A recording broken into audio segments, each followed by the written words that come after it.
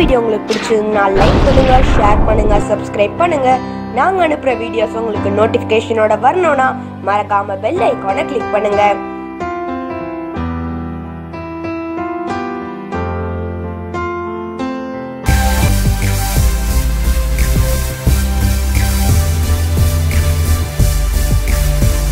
தந்தை மகன் தூய ஆவியாரின் பெயராலே ஆமேன். டிசம்பர் இருபத்தி நான்கு. இன்றைய புனித காண்டியின் புனித யோவான் கன்ஷியஸ் ஒருவர் ஏழைகளுக்கு வாரி வாரி வழங்கும்போது அவரது நீதி என்றென்றும் நிலைத்திருக்கும். இரண்டு குறைந்தியர் அதிகாரம் ஒன்பது இறைவசனம் ஒன்பது. போலந்து நாட்டில் கிராக்கோ மறைமாவட்டத்தில் உள்ள காண்டி என்னும் இடத்தில் ஆயிரத்தி முன்னூற்றி தொண்ணூறு ஜூன் இருபத்தி மூன்று அன்று பிறந்தவர் யோவான் கன்ஷியஸ் ஸ்டனிஸ்லாஸ் மற்றும் அண்ணா ஆகியோரின் மகனான இவர் தொடக்க கல்வியை உள்ளூர் பள்ளிக்கூடத்தில் பயின்றார். தொடர்ந்து கிராக்கோவில் உள்ள பல்கலைக்கழகத்திற்கு சென்ற யோவான் ஆயிரத்தி நானூற்றி பதினேழாம் ஆண்டு பட்டம் பெற்றார். சிறிது காலம் மெய்யியல் கல்லூரியில் பேராசிரியராக பணியாற்றினார்.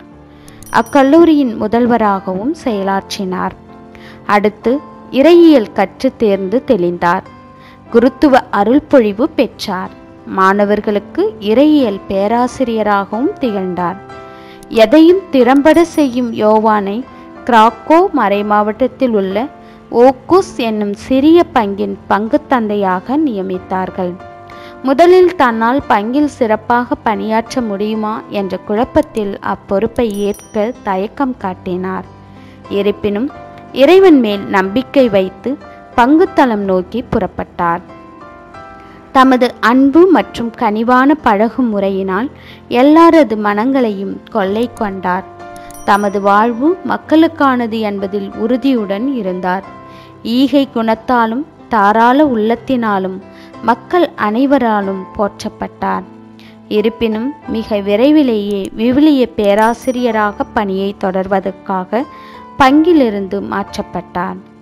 யோவானது வாழ்க்கை வரலாற்றை எழுதிய மிக்கேல் மிகோவிட்டா என்பவர் யோவான் உச்சபட்ச தாட்சி மற்றும் தாராள உள்ளம் கொண்டவர் என்று குறிப்பிட்டுள்ளார். உண்மைதான் உணவு உடை பணம் என்று தன்னிடம் எது இருந்தாலும் அதை தேவையில் உள்ளவர்களுக்கு கொடுத்து அவர்களது மகிழ்ச்சியில் தான் இன்பம் கண்டார். தனக்கென அத்தியாவசிய பொருட்கள் மட்டுமே வைத்திருந்தார். பல நேரங்களில் யாராவது ஓர் ஏழை கேட்டார் என்று தமது ஷூவை கழற்றி கொடுத்துவிட்டு ரத்தம் சொட்ட சொட்ட வெறுங்காலுடன் நடந்து வந்திருக்கிறார். சிறிது நேரமே தூங்கினார். குறைந்த உணவு உட்கொண்டார். இறைச்சி உணவு சாப்பிடவே இல்லை. சமூகத்தில் மதிப்பு பெறாத மக்கள் மற்றும் இறைவனுக்கு எதிராக குற்றம் இழைக்கும் மக்கள் ஆகியோருக்காக தினமும் திருப்பலியில் ஜெபித்தார். ஒருமுறை மேசையில் அமர்ந்து சாப்பிட்டு கொண்டிருந்தார். அப்போது ஒரு பிச்சைக்காரர் தளர் நடையுடன் சாலையில் சென்றார். அவரை கவனித்த யோவான் விரைந்து ஓடி சென்று அவரை நிறுத்தி தம்மிடம் இருந்த அனைத்து உணவையும் அவருக்கு கொடுத்து விட்டு வந்தார். புதுமையான மேசையில் உணவு நிறைந்திருந்தது. மறைசாட்சி ஆகும் விருப்பத்துடன் ரோமைக்கு நான்கு முறை நடந்து திருப்பயணம் மேற்கொண்டார்.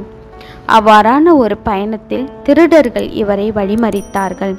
ஆயுதங்களால் தாக்கினார்கள். அவரிடம் இருந்த பொருட்களை கொள்ளையடித்து சென்றார்கள்.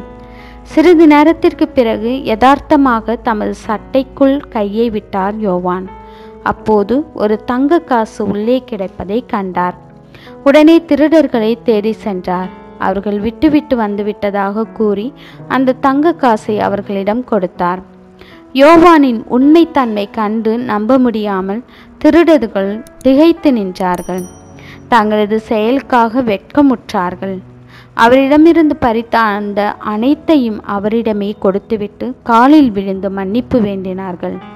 பயணத்தின் போதும் எண்ணற்ற புதுமைகள் செய்த யோவானுக்கு மறைசாட்சியாகும் பாக்கியம் கடைசி வரை கிடைக்கவே இல்லை. அதற்காக அவர் மனம் வருந்தவும் இல்லை.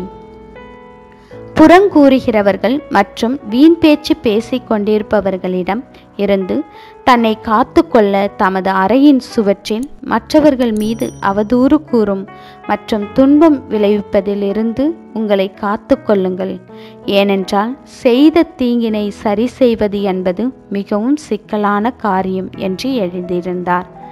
அனைத்து பிழையான கருத்துகளுக்கு எதிராக போராடுங்கள்.